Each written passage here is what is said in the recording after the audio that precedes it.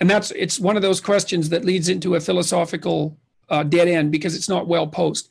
You, there isn't any such thing as self-interest. All right, no, this is going to be this is going to be very interesting, right? Because he just said there isn't any such thing as self-interest, right? And and what is there is a question you should keep at the top of your mind. What is there if there's no such thing as self-interest? What is there for Jordan Peterson, at least, if there's no such thing as self-interest? And and uh, you, you'll notice that how, how I think convoluted this gets in terms of his own thinking, because he can't be an egoist.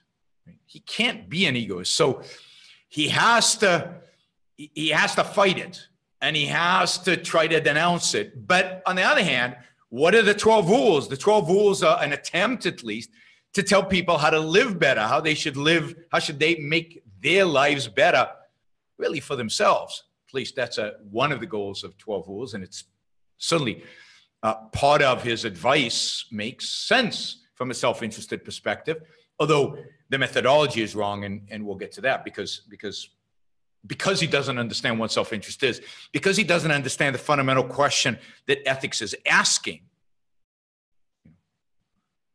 he can't really articulate those 12 rules in, in, in the right kind of way, obviously in a popular way because everybody's listening to them, but in the right kind of way that actually gives meaning, uh, gives it meaning morally. Um, all right, let's, uh, let's keep going here. It's not the right way to think about it because you're not alone. And so this is. So note this again, and I'm going to cut him off a lot, as I said. You're not alone. Well, okay. Nobody said you are alone. Self interest doesn't mean you're alone.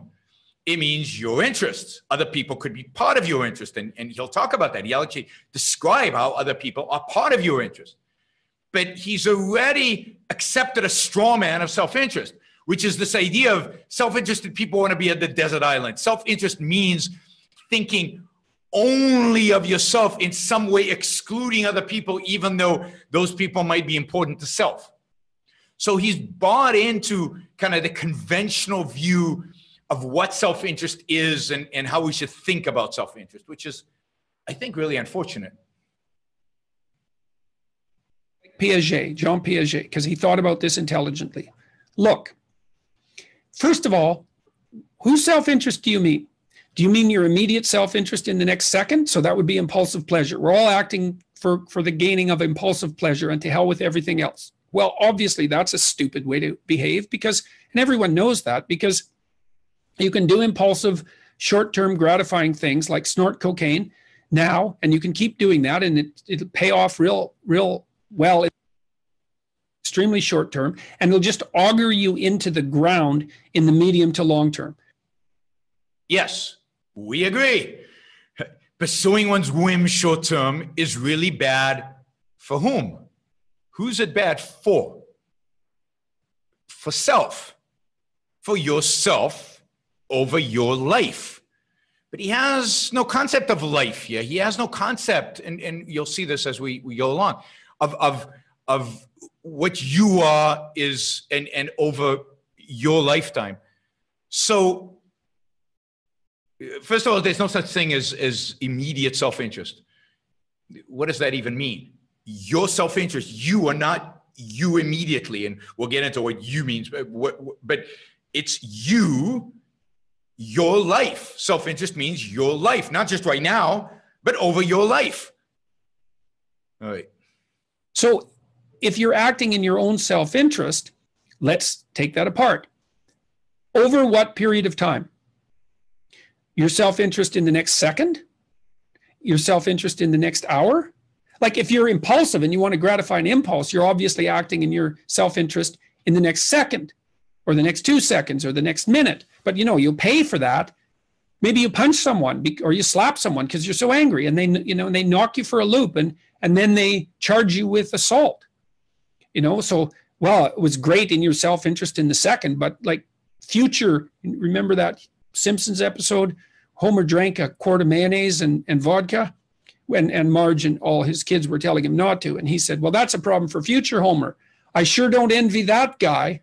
It's like, which is one of the best Simpsons lines ever, I think. And well, that's it exactly. It's like, well, there isn't just you. There's there's now you, and there's tonight you, and there's tomorrow morning you. That's the one that'll have the hangover, by the way.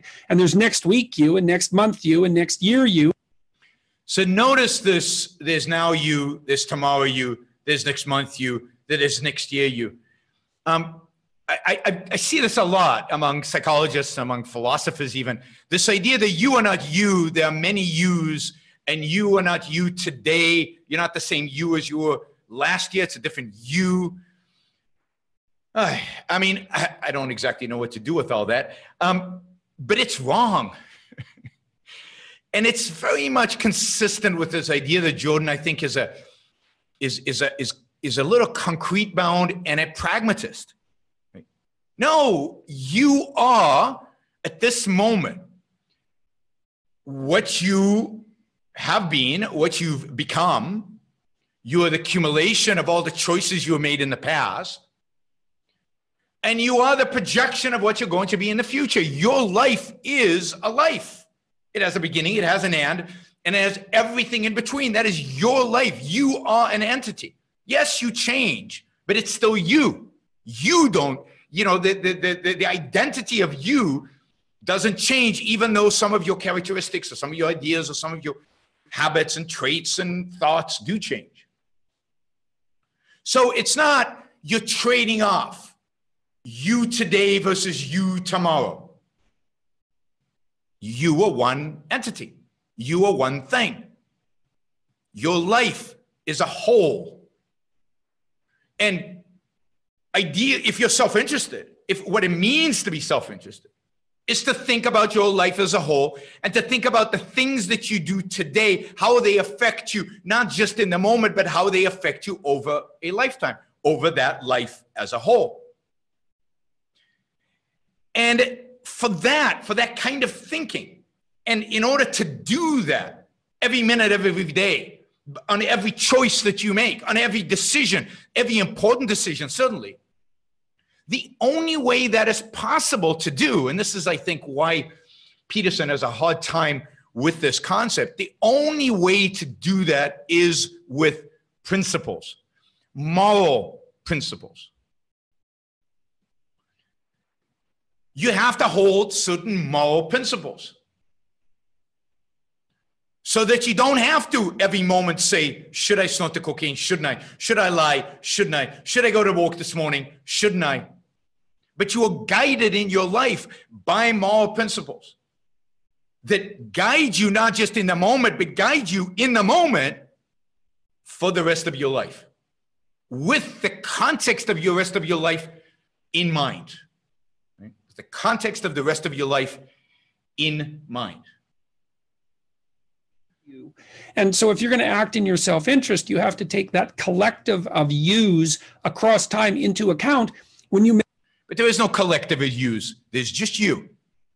Now, he's right that you have to take into account the future.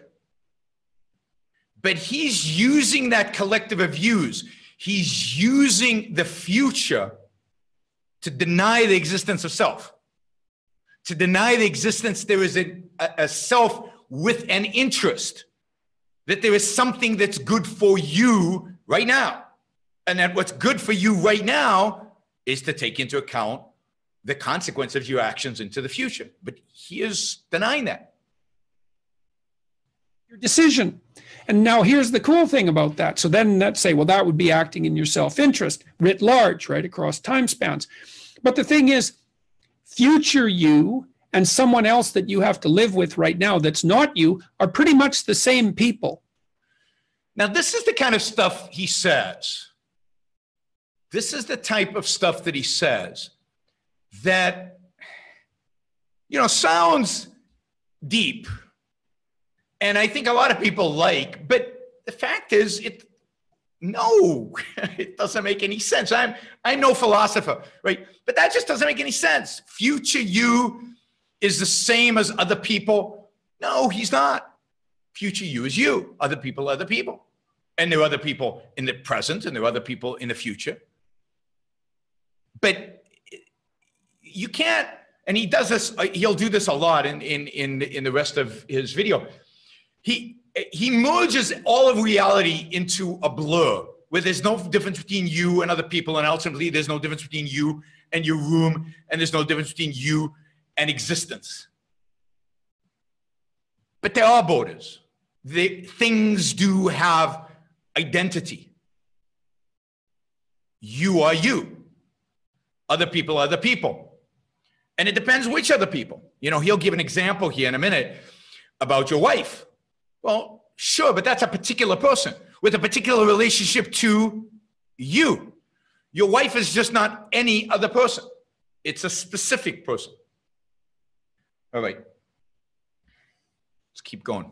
And so, if you're going to act in your self interest and you have other people around you, then you also want to act in their self interest because otherwise they won't like you. They won't cooperate with you and they won't compete with you in a reasonable manner. And so, that's going to be a catastrophe. So, you have to act in other people's self interest because if you don't, it's not in your self interest. Now, again, there's an element of truth there, right? If you treat other people with justice, if you treat other people the way they deserve, which is in your self interest, but you could argue broadly in their self interest as well, that's good. That's in your self interest. To do so and to treat people unjustly is wrong, right? Would be bad for you, but it's still you are the standard here but he's gonna he doesn't want to to create a standard he doesn't want to draw lines he doesn't want to draw identities everything kind of merges into a blur So, you want to act out what's good for you now and what's good for you next month and next year. And you want to do that in a way that's good for you and your family and your community right now, next week, and next year. And you're going to take all those things into account at the same time. now notice see there it is right he's saying you have to take all these things into account at the same time and yeah and and, and that's impossible and it is impossible if you have to do that every time you make a decision every single time you make a decision you have to make a list of everything. You today you tomorrow you in a month you in a year and everybody else around you the impact the justice the the, the impact it has on everybody else and every everything. You can't do it. He's right. So to hell with to hell with self-interest right? But no but this is what morality is about.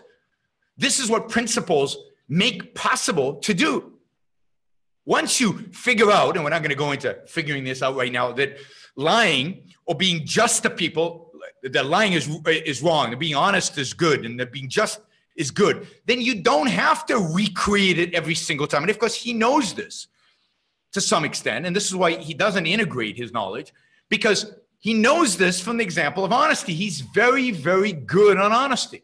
It's the one virtue the one virtue that he nails. If you've seen his talks on Pinocchio, right? And you've seen his talks on honesty, he is very good at it. He's, he's the best non objectivist, and he's actually better than some objectivists on this topic. On honesty and the, and, the, and the awful, horrible consequences of dishonesty to you. To you today, to you tomorrow, to you in a month, to you in a year, to you forever. To you. So he gets honesty as a principle, though he, I don't think he defined it that way.